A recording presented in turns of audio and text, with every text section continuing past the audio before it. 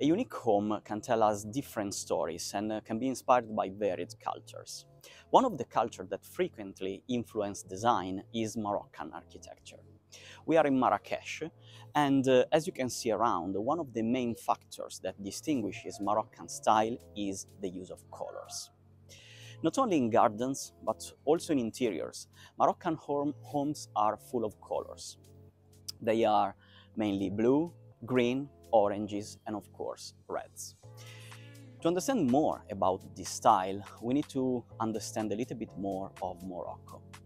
Throughout the centuries, Morocco was open to different cultures, and um, its architecture has been inspired by different styles like Arab, Berber, uh, Spanish, French, and Italians.